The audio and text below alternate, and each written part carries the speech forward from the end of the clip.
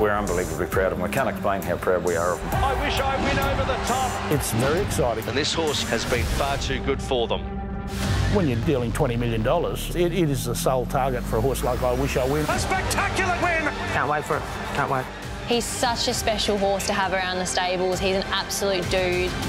Just a no-fuss character, eats, sleeps, enjoys his work, and he can run bloody fast.